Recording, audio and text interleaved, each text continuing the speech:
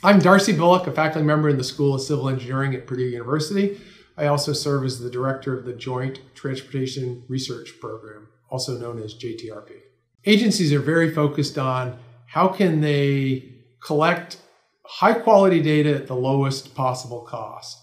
And we're now in an era where it makes no sense to have personnel going out driving corridors with GoPros on the dashboard and beside the road with clipboards collecting data. If they can pull that information in from Wejo and connected data sources, they get the same insights, or in many cases, much better insights. That's a win win. It's cheaper and they get better quality information. The type of data that we like to pull from the Wejo connected vehicle uh, data set are things as simple as vehicle speed, so we see where the slowdowns are but also, we get events, things like hard braking or hard acceleration.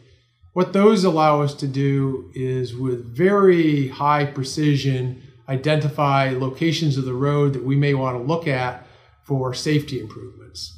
A typical vehicle reports data about every three seconds. A month of data for our state is about 10 billion records. And that's big data. So when we can bring that sort of data in 24 7, that lets us keep our pulse on, on basically the heartbeat of our network in the state. Before we had things like hard braking data, we would wait months or years to identify emerging safety problems based on crash data. But hard braking uh, gives us those surrogate measures so we can see emerging problems early. There's two areas that we use the Wejo connected vehicle data for right now to provide actionable information. The first area is prioritizing traffic signal improvements to identify traffic signals where we may have an opportunity to make an improvement. The second area we use Wejo data is to identify construction work zones that may have an opportunity to have an improvement. Both of those applications scale very well to a national level with, with very, very little local uh, field visits.